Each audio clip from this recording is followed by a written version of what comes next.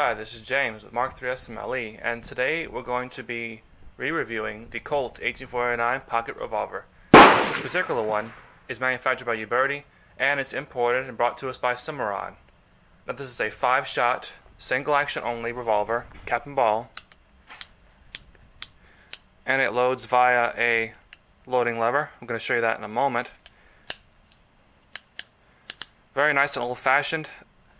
This particular class of gun was very popular with civilians during the 19th century. In, in fact, it was Colt's most popular cap and ball revolver of that era.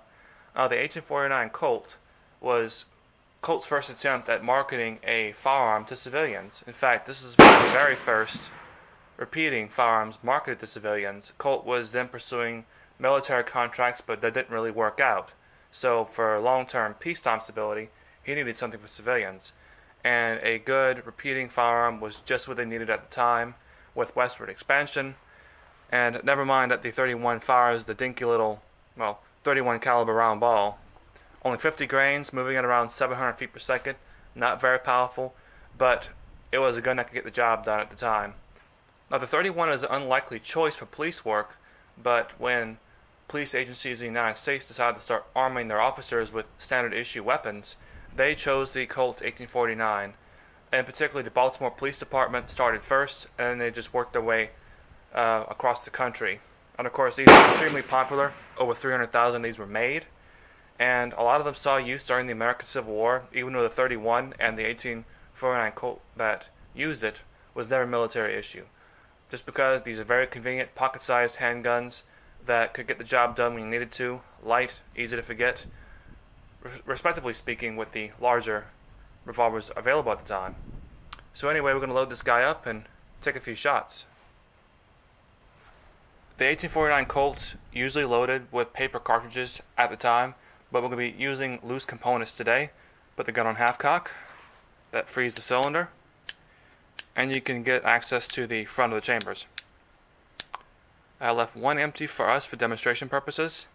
I'm going to go ahead and 20 grains of black powder into our measure.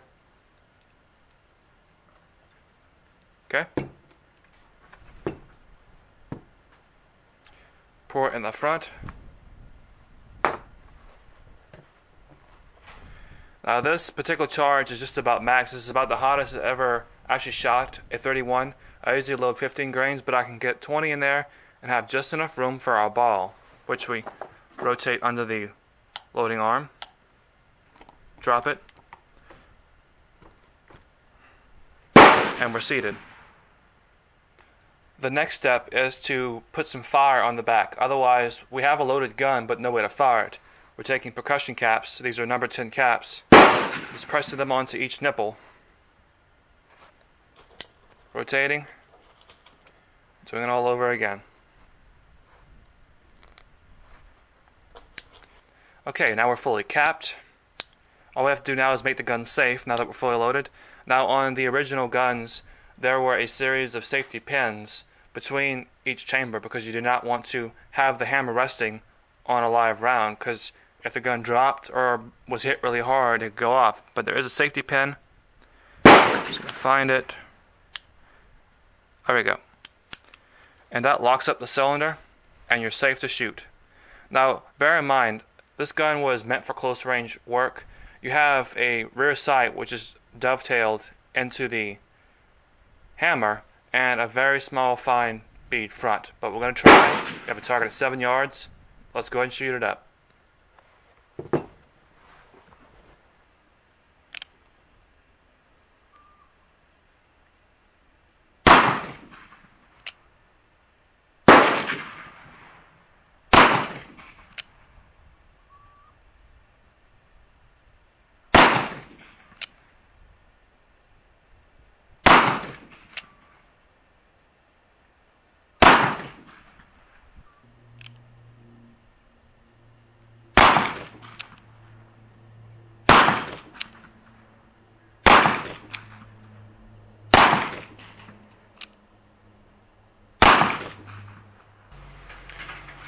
Taking down the 1849 Colt is a pretty easy proposition.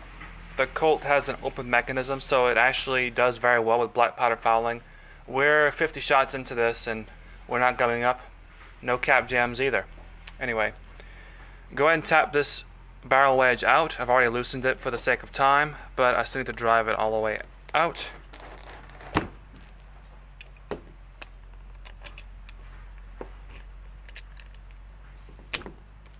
There we go.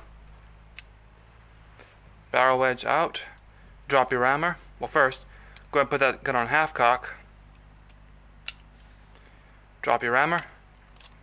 All comes off. Easy.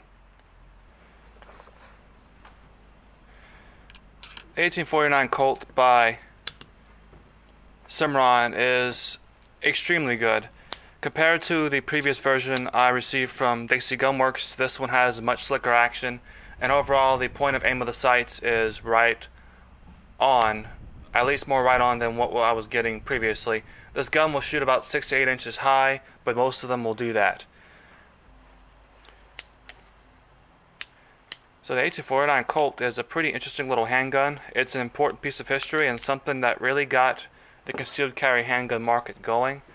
Today, the 31 seems to not have as much power as some would like, uh, especially for a fun gun. A 44 or 36 might be a little bit better.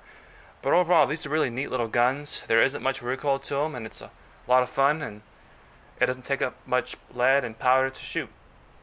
Anyway, I hope you enjoyed this little video. This is Mark 3 SMLE, going out.